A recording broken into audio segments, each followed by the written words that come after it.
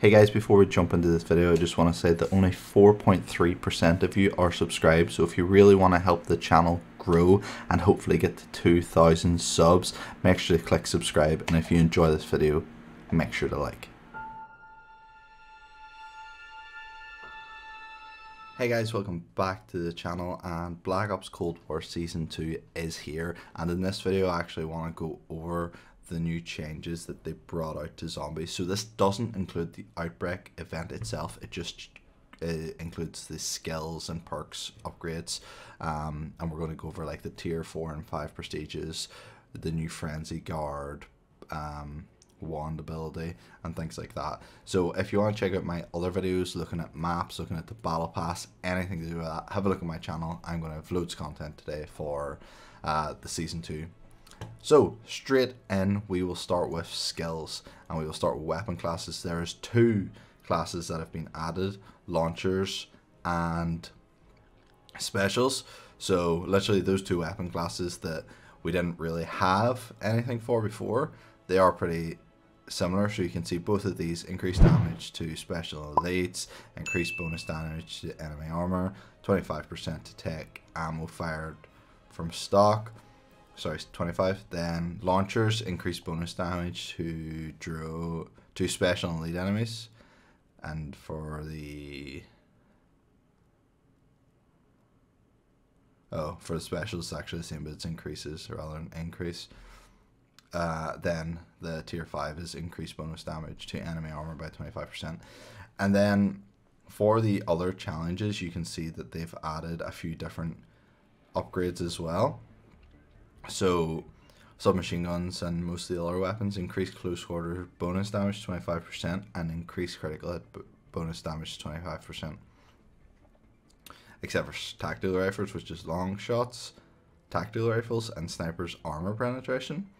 Then the melee, which is increased primary melee weapon bonus damage to 25%. And for tier 5, melee damage heals you a small amount. That sounds OP. The knife is really a a standout weapon in this COD. That is very nice. Next up, we've got the field upgrades. So obviously these all upgrade to tier 4 and 5. So first, let's look at friendly Frenzy Guard. So the actual description itself, force all enemies in the area to target you for 10 seconds. Armor takes all damage during this time. So that seems sick. Um, okay, so I Tier 1 activation repairs your armor to full. That's OP. Tier 2 enemies you kill repair 10% of your armor. That's pretty sick. Normal enemies explode after hitting you. I'm not sure how that works. Then tier 4 increased duration to 15 seconds. Okay. And then 5 normal enemies are slowed to walk speed while active. And I think that's within a certain radius, just to be clear. Okay, so Frost Blast tier 4 and 5. So increase maximum charges to 3. Mad. Um, normal enemies are froze for 5 seconds and insta-killed while damaged. Okay, Frost Blast kind of cool. Energy Mine. Um, enemies damaged by the blast have their armor destroyed. That's cool.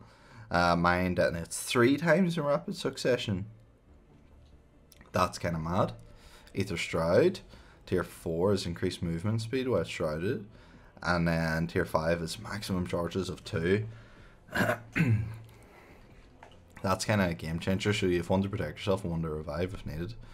Healing Aura. So tier 4. Allies revive. Keep all perks on their decay meter.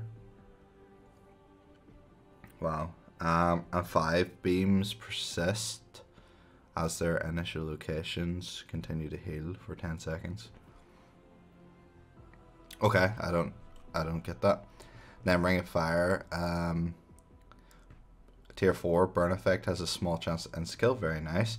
And then 5 ring duration, burn effect, damage, and insta-kill chance increase all damage the longer the player's inside. Wow, okay, so these tier 4 and 5 of the field upgrades are kind of crazy.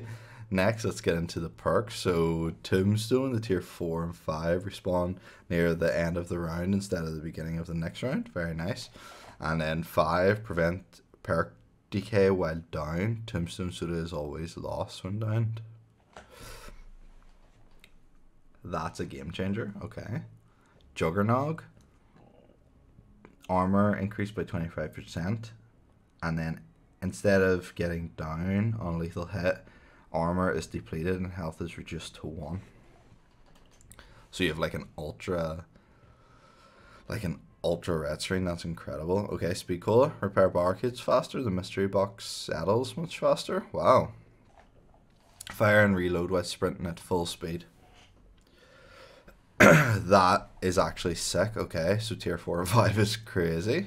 Um, quick revive tier 4 or 5. Reviving an ally will increase both players' movement speed for a limited time. Wow. Killing an enemy while down will revive you and remove the quick revive perk. So that's like uh, the thing out of Borderlands. Okay, that's quite cool. Wow. So stamina up, use equipment while sprinting. Uh, remove sprint speed fall off. Wow. Elemental pop, this was a big thing for me. So tier 4, increase enemy elemental weakness damage by 50%. Okay, that's fine. Then tier 5 is electric cherry. Reloading creates an electric damage discharge damage and stuns nearby normal enemies. The more empty the magazine, the stronger the damage. Thank you Thank you. I am so excited. Then Deadshot Daiquiri tier 4. Increased critical bonus damage 10%. And then 5. Each consecutive hit on the same enemy deals 2% more damage to a maximum of 20%. Guys, these tier 4 and 5 perks are going to be crazy. And then last but not least, we've got the ammo mod. So Shattered Blast was a new one that was added. And the description is bullet deals Bullets deal explosive damage. Each bullet has a chance to explode, dealing additional explosive damage and destroying any impacted armor. 25 second cooldown. Tier 1, because this is new, I'll go over it. Explosion also deals damage to nearby enemies. Tier 2, all normal enemy armor damage by explosion is destroyed. Tier 3, normal enemies damaged by an explosion are knocked down. Tier 4, explosion size doubled. Tier 5, on explosion, three additional staggered explosions will occur in close proximity. 30 second cooldown. Not sure how them two cooldowns work together. Napalm Burst, so tier 4 special enemies can be burned. Nice. Tier 5, something burning the enemy, the enemy explodes, spreading. On a burned enemy, kill the enemy explodes, spreading the burn. Okay, so Kind of more like um, the one from Black Ops 3 and 4. Very nice. Deadwire. Special enemies can be stunned. Nice. And then tier 5, on a stun, arcs electricity jump and spread to the stun to stun 5 near enemies. So that's literally more like Deadwire, the OG Deadwire. Very nice. Then Cryo Freeze, tier 3. Special enemies can be slowed. Sorry, that's um that's tier 4. Special enemies can be slowed. Then on Cryo Tier 5, on a slowed enemy kill, the enemy shatter spread the slow effect, so it spreads again. Then Brain Rot, Tier 4, special enemies can be turned. Then Tier 5, on turned enemy death, the turned enemy explosion turns three nearby enemies. Holy crap. So yeah guys, if you didn't think you were OP before this the perks and the ammo mods, we really are OP now. This is incredible. This is going to be crazy. Okay, guys, as always, thanks for watching. If you liked the video, make sure to like.